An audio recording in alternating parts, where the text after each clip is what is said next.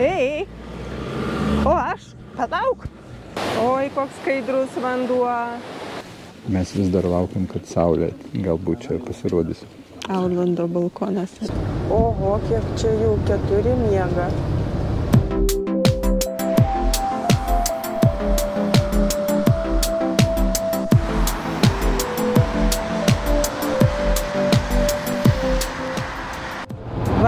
Važiuojam mes ieškoti saulės.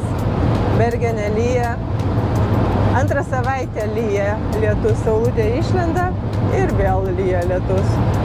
Nusprendėm nuvažiuoti kokį 100-200 km į kalnus ir pabūt kelias dienas saulėje.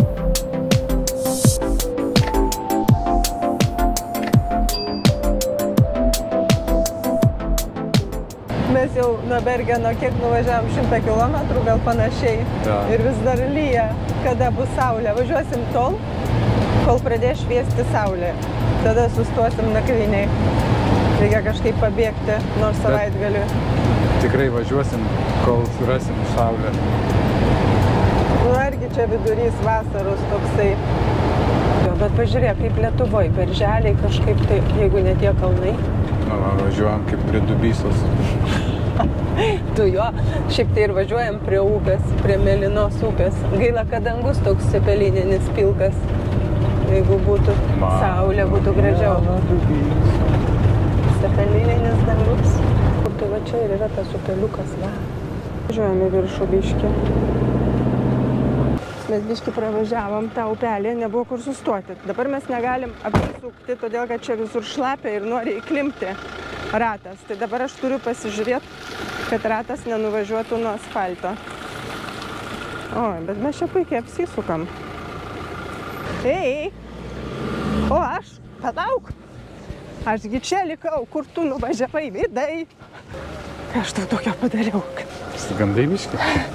Nu, čia miške ant kalno man. Neklausysi, paliksiu. Klausys. Ar stosi prie to upelio ar ne? Stos. Čia gal 5 km papildomai dar nuvažiavom, kad apsisuktumėm.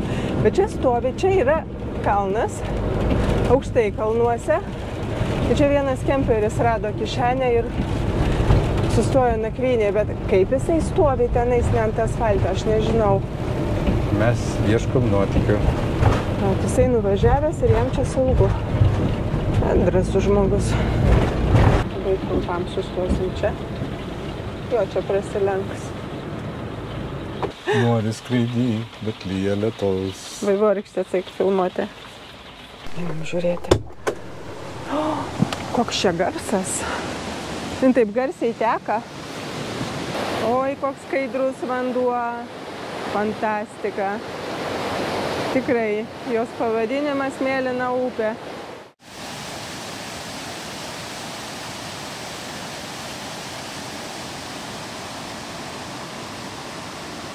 Promelinės, promelinės. Galima prieiti. O, kokia spalva.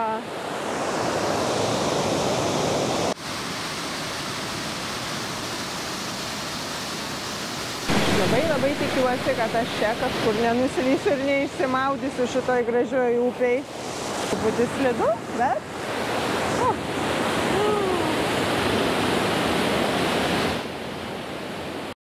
Čia būtų idealu, jeigu su kemperiu va čia va privažiuot. Ai, yra kitas variantas. Palapinę čia pasistatyti. Palapinė gal būtų romantiškiau.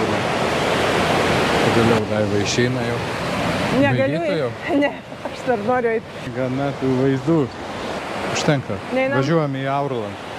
Nu jo, mes dar turim tašką šiandien aplankyti. Kaip galima į kalnus be kalninių batų, tu man gali pasakyti, aš nors dabar jau po viską užsidėsiu juos, nes Kam tuos peršlapau. juos? Peršlapau tuos. Ai, tuos peršlapai. Jo.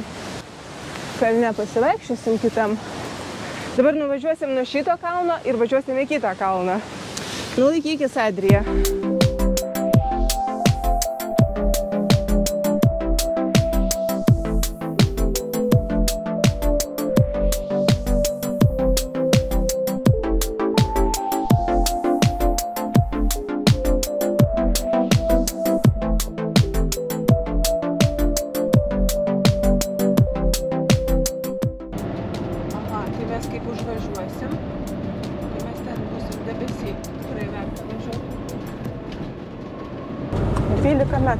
metrų daugiausiai galima važiuoti. 12,5 metro ilgis. 12,5 metrų. Bet čia gali ir, gali ir trijų ašių kemperis drąsiai važiuoti. Gali.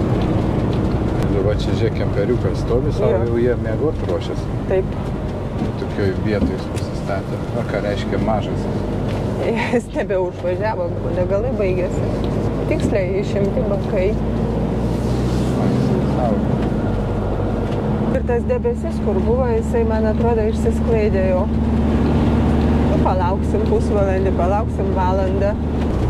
M raidė vadinasi prasilenkimo vieta. Ne. Reiškia, kad čia mūsų pirmenybė. Čia, čia Lietuva, čia M. Mūsų. Norvegiškai mūsų turėtų būti V. Minė plus. Mi, a, minė, tai čia mano. Minė fešta. Ar vorės. Baisu. Nebaisu. Tu Tau nebaisu. turėtum sakyti firminė. Oi, oi, oi. Oi, oi, oi, oi. Oi, oi, oi. Tai kad dar nebuvo čia, oi, oi, oi. Aš jau pripratau. Oi, oi, oi, oi, oi, va čia tai tikrai. Nu, yra debesis. Man atrodo, mes tuo į jį važiuosim. O čia tada. Vis tiek gražu. Gal tu vairuok?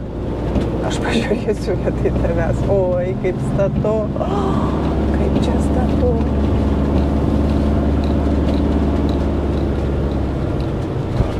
Tiesiog. Bet mes važiuojame toliau. Įdomu, kaip čia žiemą. Čia daro? Žiemą, čia yra žmonių gyvenančių ūkininkų. turėtų čia prižiūrėti tos valyti.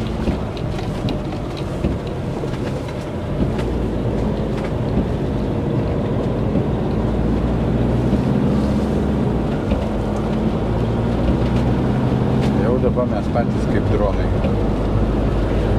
Jo, tikrai, o kam čia drono? Čia nepasijaustų net.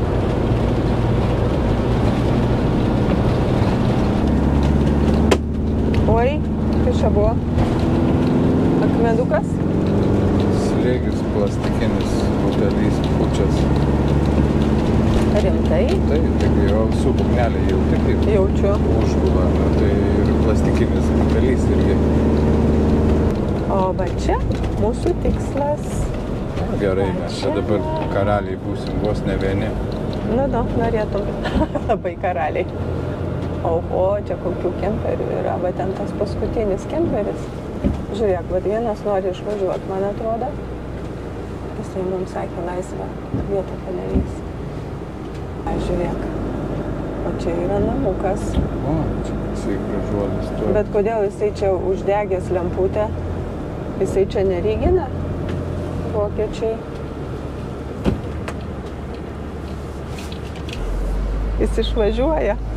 Išvažiuoja. Bet toks kamazas. Nu, biškilyje, mes dabar debesyje esam.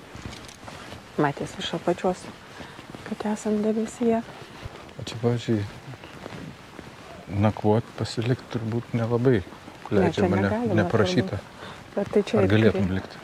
Ar tu norėtum, rytoj bus geras oras, tu žinai, čia bus pilna aikštelė mašinų. Atsibundi. Čia žiūri, kad tu visas apstatyta. Va. Atrodo Aulando balkonas. Ne, koks gražus statinys. Jo, apžvalga į fjordą.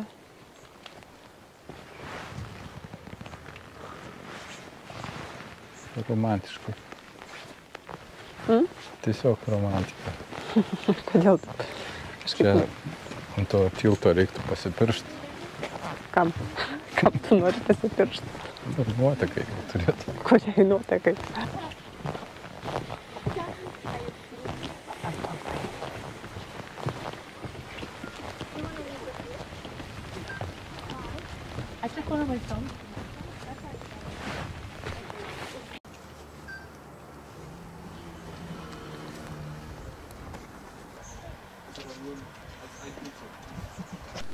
Čia mes esame pačioje žymiausioje Norvegijos vietoje. Žymiausioje ta prasme, kad labiausiai nesimato, labiausiai lyja. Buvo baisiau. Buvo visai rūkė. Ne, aš turiu omeny šitos savaitės periodą. Aš gal šiandienos. Bet mes pažadam, kad čia jau trečią kartą esam ir atvažiuosim dar tiek, kiek reikės, kol mes pamatysim Saulę galų gale. Bet esam vieną kartą matę Saulę. Linkėjimai jums vis tiek iš debesų pusės. Mes jau norėjome nueiti, tačiau pamatėm, ats- atsigręžėm atgal ir pamatėm, kaip visi debesis, debesis tiesiog pradėjo slinkti. Mes dabar tuoj pakliūsim patys į debesį. Viskas mes jau debesyje. Arba rūkė, nelabai čia mes suprantam, kas čia ar Debesis. debesis. nu, Debesis, aš esu tikra. Žiūrėk, kur bus su kemperis? Man kažkas baltuoja.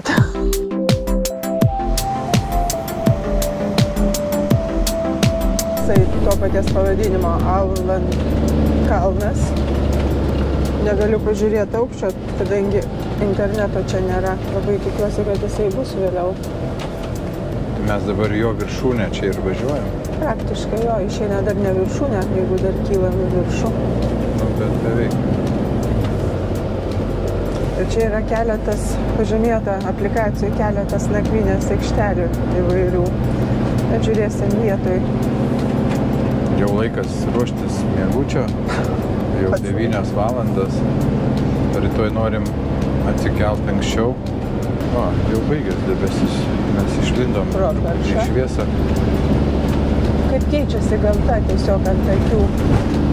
Šitas kelias žiemą būna uždaromas, šlagbaumas buvo.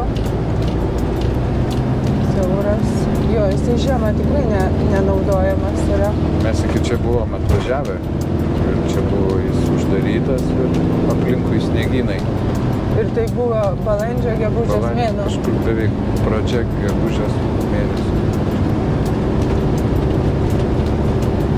Šiaip tai jau normalūs žmonės jau stovi ir ilsisi. Mes čia tokie nuotikių ieškotojai.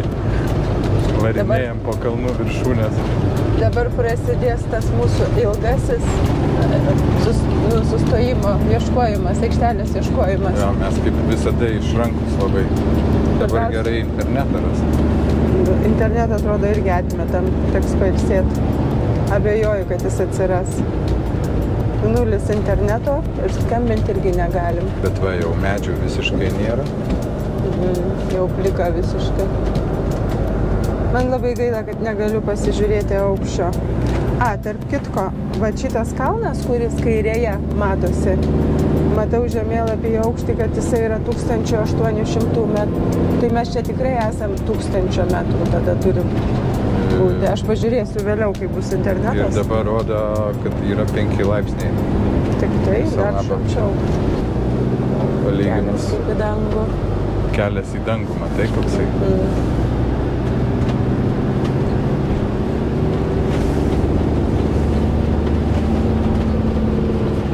Čia mes vėl kelyje.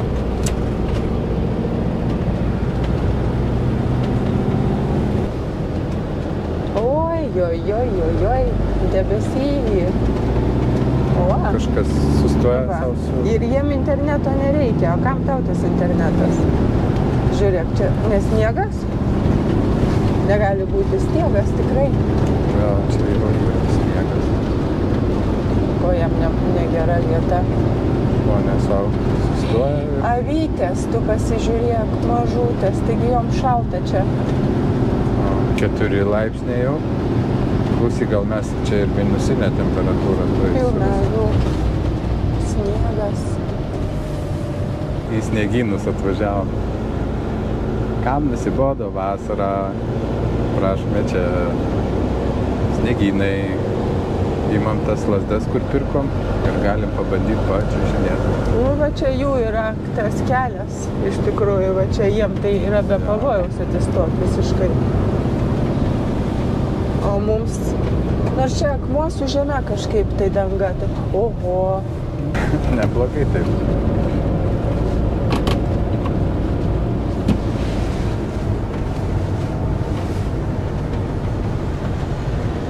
Vasara, vasara, kurgi ta mano jūra.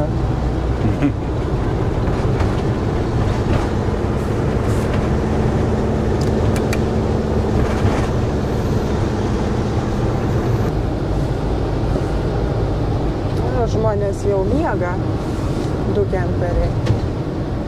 Čia gera aikštelė. Oho, kiek čia jų keturi miega.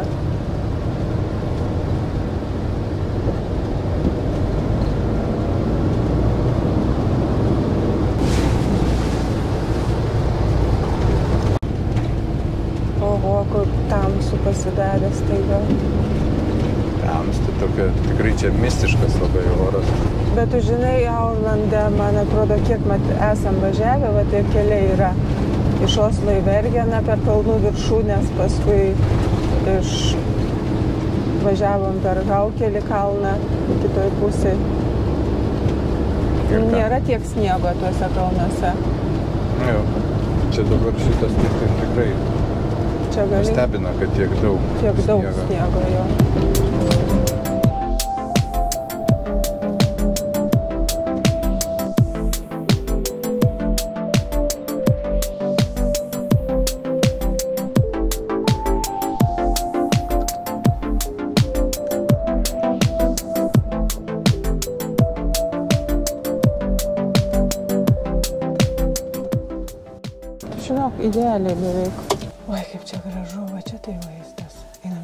Pažiūrėti. Atvažiavom į tokią aikštelę, pasiliksime miegoti. Vaizdas čia labai gražus. Vienas kemperis jau miega. Nežinau, ką čia rašo, reikia pasižiūrėti. Ar čia galima nakvoti? Šuniukus reikia pririštus vedžioti, kadangi vaikšto vyčių daug. O čia Čia jokios informacijos nėra, kad reikia turėti žvejybai specialų leidimą. Kaip tau? Šilta? Liepos Nu, mėnesį, ką? Nežinau, čia reikės žieminius rūbus atsivežti. Aš žinau, aš turėjau mintį, kad reikia įsimesti žieminius striukę, žinau, kur važiuoju, bet ai, galvoju, greitai eisim ir bus šilta. Mes iš tikrųjų ieškom naujos vietos, bet mums reikia važiuoti per šitą vietą. Tik tiek. Man rytoj bus graži diena, planuoja, kad saulė bus, jeigu nemeluoja vėl orų prognozės. Turėtume mes kažką nuveikti naujoj vietoj. Mes tikrai nesustosim. Jo, tau kaip šalta. Rytoj kažką naujo sugalvosim. Kaip vasara gali būti taip šalta.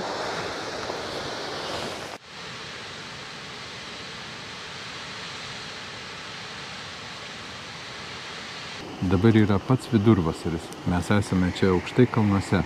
Sniegynai, kriokliai, truputį sušalome. Ir jeigu jums patiko mūsų video, Prenumeruokite mūsų kanalą ir komentuokite. Iki. iki Nepagausi, nepagausi. kur mes bėgam, kur mes bėgam. Bėgam, bėgam greičiau. Šildytis. Iš šiltos namų. Kaip šalta. Šilumą greitai jung. Gali? Kiek dabar rodo laipsnių? 27 laukia. Oi, oi, oi. Darys daug geriau. Šilta. Labai šalta. Darysi? Nors rodo viduje 20, bet tai pradėjo šalt laukia 7 laipsniai tik tai. Ir arbatos greitai. Karštos arbatos. Kaip žiemą sušalau.